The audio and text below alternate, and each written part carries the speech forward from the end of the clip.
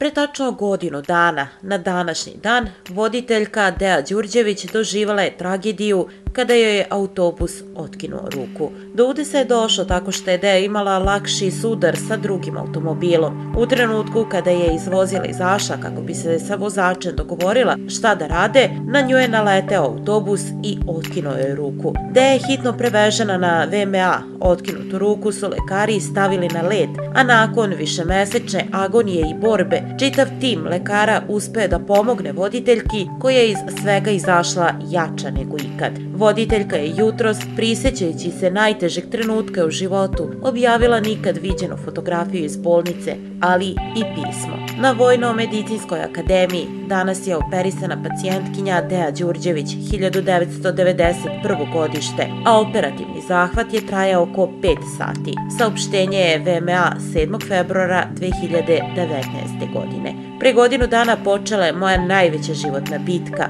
Kada sam se probudila iz anestezije, shvatila sam da sam u ringu i da sam dobila tek prvu rundu. Da imam ruku kojom ću da se borim pomogao je doktor Marko Bumbaširević sa svojim timom, a da bi mi kucalo srce, funkcionisala pluća, oporavila se kičma, karlica, počele je da se pomeraju noge, pomogli su mi doktori sa VMA, načelnik Miroslav Kosavljević, Ivo Udovičić, Neša Stepić, Boban Đorđević, Miomir Šarić, moja divna Mara. Njih je bilo mnogo, ceo VMA radi i živi kao jedna porodica. Plus u svoj ogroman doprinos dali sestre i tehničari sa VMA i Kliničkog centra Srbije. Druga runda je bila teška, mučna, ali i duga. Moji treneri, moja majka, moj mlađica i moja baka su mi ulivali mnogo snage i davali savete za dalju borbu. A najveća podrška su bili moji veliki prijatelji. Nisam ni znala koliko sam bogata dok se ovo nije dogodilo. Moj Pink RS na čelu sa Željkom, Milicom i Goranom Gmitrićem